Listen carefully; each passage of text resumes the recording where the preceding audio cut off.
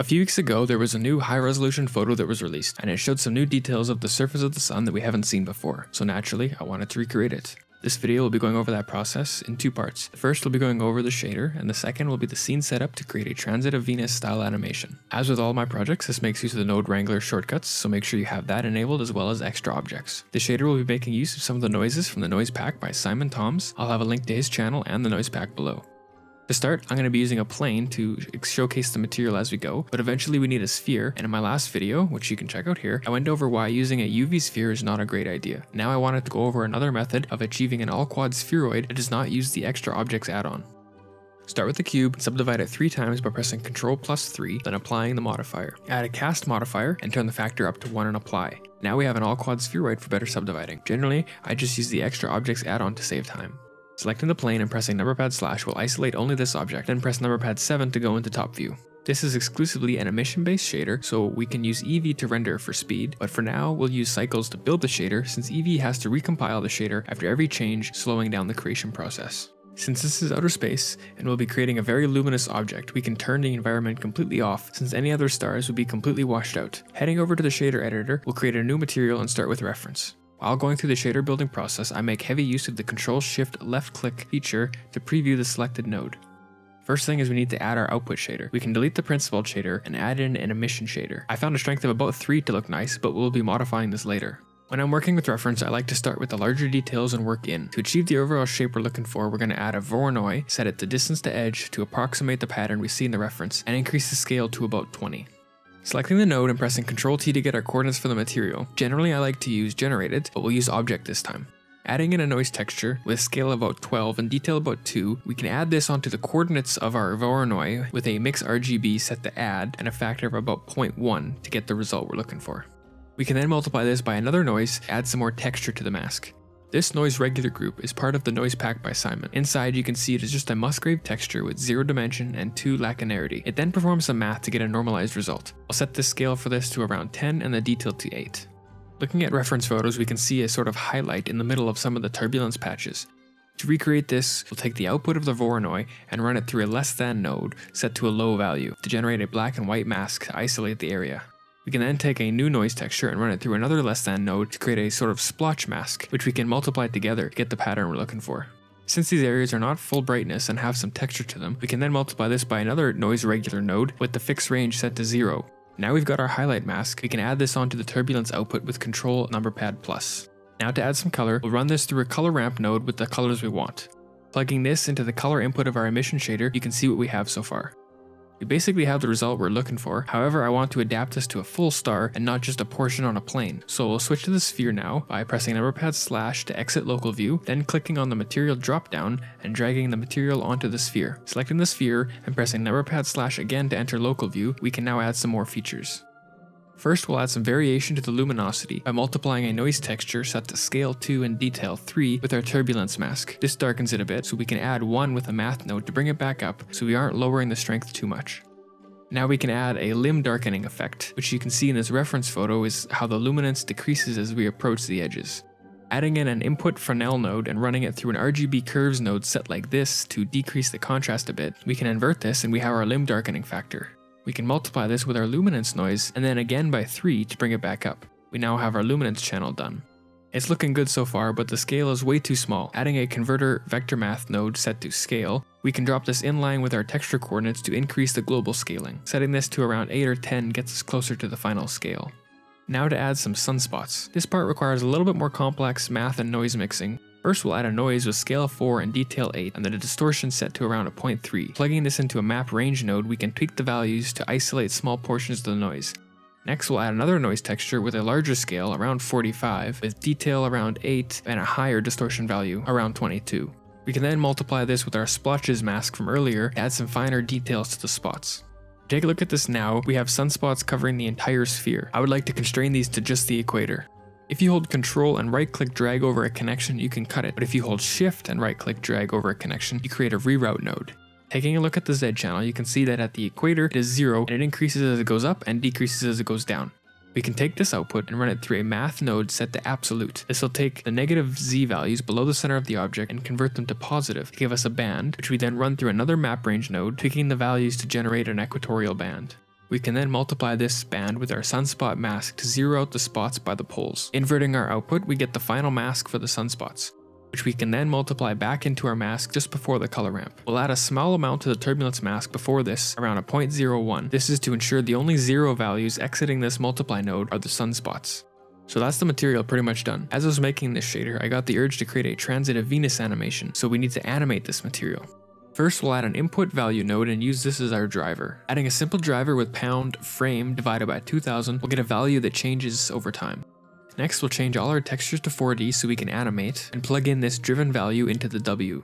We want some of these textures to change at different speeds than the others, so we can just add a multiply node inline to bring the values down. We can plug the driven value straight into the turbulence and the luminosity maps, multiply it by about a tenth for the highlight, and have it for the sunspot noise. Switching to Eevee, you can see the motion we're getting in the material now, and are ready to set up the scene. We'll use millions of kilometers as the scale for the scene, so we can set the diameter to 1.39. Then we can add the orbit paths by adding a curve circle. Right now it has a diameter of 2, so to bring it up to 1 AU or roughly 150 million kilometers, we can scale it by about 75. Right now the resolution of this curve is quite low and I want to increase this. Going to the object data properties tab, we can crank the resolution up quite high. I used 256. Rotating this on the y-axis by 7 degrees by pressing R and 7 will get the orbit's inclination. Since Venus's orbit is 0.72 of an AU, we have a 1 AU orbit, we can just duplicate this and scale it by 0.72. Pressing Alt R, we can reset the rotation and then rotate on the y-axis by 3.5 to get Venus's orbit inclination. We'll delete the default lamp, select our camera, and go over to the Constraints tab. This tab is full of different constraints or methods of locking down parameters of our object. For example, you could constrain an object to rotate only on the z-axis, force it to copy the rotation or location of another object, etc we're going to use the clamp to constraint. Clicking the eyedropper, we can select the orbit path and this will lock the location of our camera to the curve. Make sure to check cyclic so the camera can go all the way around. We'll reset the location of the camera by pressing Alt G. Focusing on the sun by selecting it and pressing number pad period will zoom in to the center. Now we can add an empty, the kind doesn't matter, I just used to use plain axes. We'll scale it up a bit to make it easier to see. Next we'll select our camera in the outliner and add another constraint. This time we'll use damped track and change the to field to a negative z to get the behavior we want. Now we could just use the sun as the constraint target to make sure it's pointing at the sun, but I want to add a bit of motion to the tracking, as if we were using a subpar tracking mount for a telescope.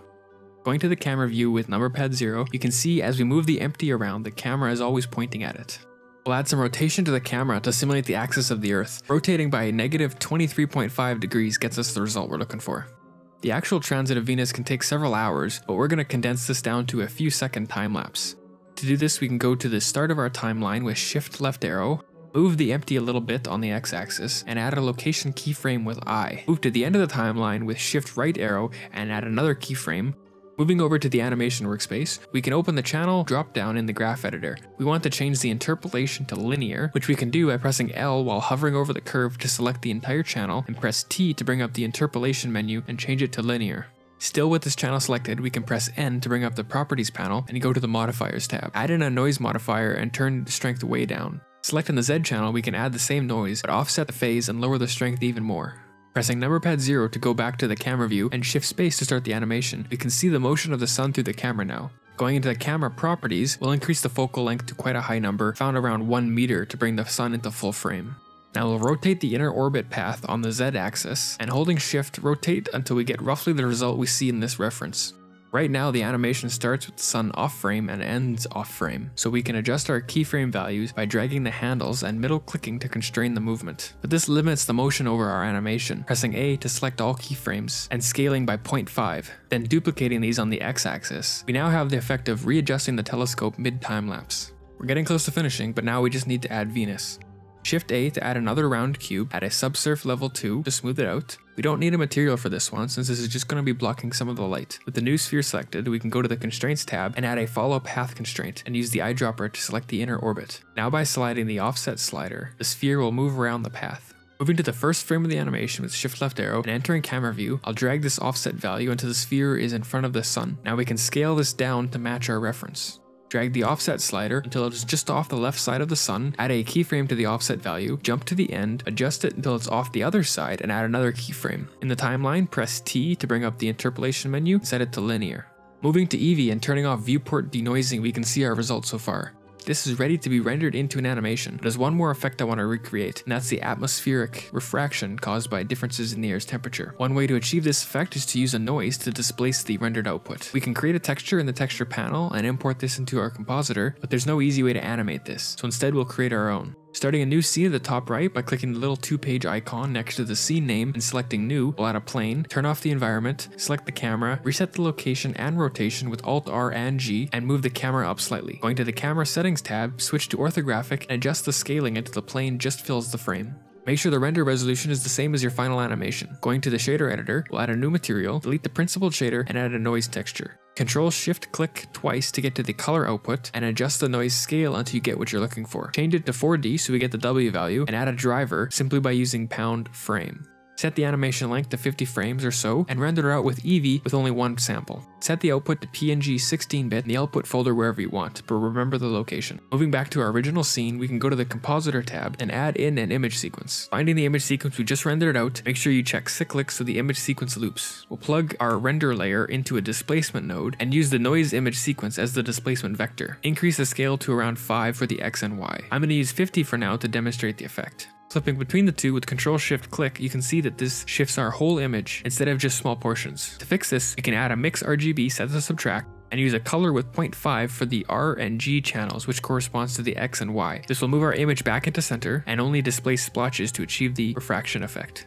I then ran the output of this into a color balance node to make it look a little bit nicer. When using the color balance node, make sure it is set to offset power slope and not lift gamma gain, since this mangles your color data when using the Filmic color management. Blender Guru has an excellent video about Filmic, I'll have it linked in the doobly-doo. Now all that's left is to render. I used Eevee for my final render, with bloom enabled and the default settings, everything else was left at default.